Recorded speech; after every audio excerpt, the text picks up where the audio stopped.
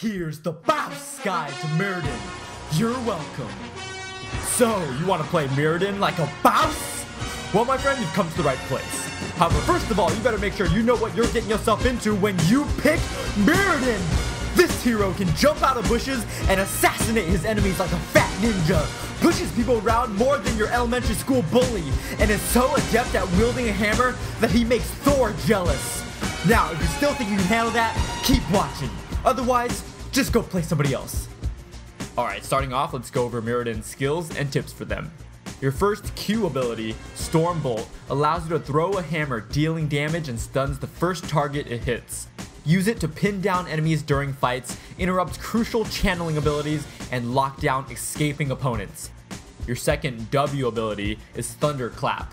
Mirrodin hits the ground with his hammer, damaging and slowing enemies in an area around him. This ability provides decent area of effect damage and a potent slow. It's best for adding chaos and disrupting multiple enemies during team fights and slowing down enemies during a chase. Your third E ability is Dwarf Toss. This ability allows you to jump a short distance, dealing damage in an area when you land. It's great for ganking lanes, surprising enemies by jumping out of a bush, jumping on high priority targets in a team fight, chasing down enemies, and escaping from fights. Your last and ultimate ability is Haymaker. We'll just be using this one for the build. This ability has the potential to set up amazing plays and kills because it allows Muradin to push an enemy a great distance across the map and deal significant damage to the target as well. Other opponents in the way also take minor damage and get knocked back. With this ability, you can push an enemy completely out of position and deny their escape. You can push them into your base for an easy kill. You can push them out of objectives. You can even use it as a finisher. This skill might as well be called Playmaker because that's what you'll be doing. Your trait is Second Wind. This increases your health regeneration tremendously after you've been out of battle for a few seconds. It allows you to stay on the field after taking heavy damage because you'll regenerate so quickly after fights. Between this trait replenishing your health and healing wells restoring your mana, you'll rarely have to go back to the fountain to heal. Now, on to talents and gameplay. Early game talents at level 1 get Infused Hammer. This talent refunds you a large chunk of mana if you hit a hero with Storm Bolt. It will help you keep your mana up so you can freely use your abilities without worrying too much about getting mana blocked, especially in the middle of a gank or a team fight. At level 4, go for Thunderburn. This talent boosts your Thunderclap ability, giving you a second, smaller Thunderclap after a short delay in the same area that does some damage and slows the target again. The damage is minor, but the second slow can really make a difference in fights and chases. At level 7, go for Piercing Bolt. This upgrade to your Storm Bolt ability makes it so that you can hit two targets rather than one. Aside from stunning multiple targets, this helps you land stuns much easier during team fights when a minion or a spawned unit might otherwise block your stun. It also synergizes extremely well with Infused Hammer, because it's jackpot if you hit two heroes with one Storm Bolt. You'll get double the mana refund. Hope you can swim because you'll be drowning in mana. Now onto early game gameplay. In the early game, your top priority right at the start should be roaming from lane to lane, ganking, helping your teammates kill their opponents in lane and around the map. In early game, your skills are wasted if you're just sitting in a lane soaking experience, because your slows and stuns are arguably at their most potent in the early game. So start off in a dual lane so you can leave freely to gank around the map. Look for lanes where enemies are extending past the halfway point where you can come up behind them or jump out of a bush to slow and stun them. Now, I'm going to take a second to walk you through Muradin's early gameplay style and ganking strategy. BOSS style! And just like Muradin's unsuspecting enemies in lane, you're not going to see this coming. Let's go!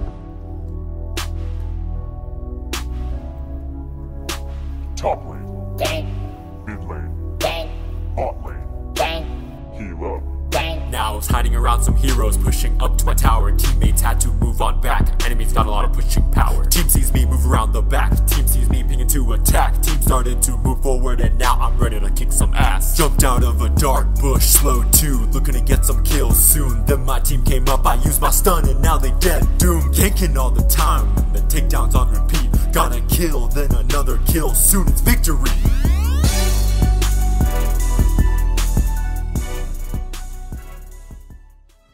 In order to gank effectively with Muradin in the early game, Communicate with your ally in lane that you are coming to gank. Sneak behind enemies in lane and jump on them with Dwarf Toss. Stun and slow them while your allies come in to help you finish off your target. But don't bother trying to go gank a lane if there isn't an ally in it, because you don't have enough damage early game to take out anyone one on one unless they are low on HP anyways. Your power comes from your ability to slow and lock down enemies so that your allies can come in and finish them off. Even if you take a lot of damage during a gank, it's okay, just walk it off like a boss! But literally, you can walk it off because your trait will heal you up as you travel to another lane. Now, onto mid-game talents. At level 10, go for Haymaker. This ability gives you such incredible damage and utility, and makes you magnitudes times more dangerous in any engagement. It's built to heavily disrupt enemy positioning. If you push an opponent to a bad spot or to a group of teammates, they're dead meat. The damage on it is great and can be used as a finisher if necessary. However, always be mindful of where you aim the push, even if you intend to use it as a finisher, because you don't want to accidentally push an enemy to safety. At level 13, grab Burning Rage. This constant area of effect burn will help tremendously with clearing minion waves and mercenary camps, as well as increase your overall damage per second in teamfights and engagements. Now, onto mid-game gameplay. In the mid game, roaming is still your top priority and plays mostly the same, except now you'll have Haymaker, which makes you even more dangerous than before. Now you can jump out behind enemies and push them backwards towards your allies, completely denying any chance of escape. During team fights in the mid game, similar to ganks, you usually want to come out from behind the enemy team, maintaining the element of surprise so you can jump in on the fight right on top of an assassin or a specialist in the back. Use your stun and slow to help you set up your haymaker and push your target out of the protection of their team where your team can easily pick them off. In team fights, you're going to be drawing a lot of enemy attention, which is good because it allows your team's assassins more freedom to focus on bringing down opponents. Your abilities will be back up in no time, so stick onto high priority targets to slow them and stun them again.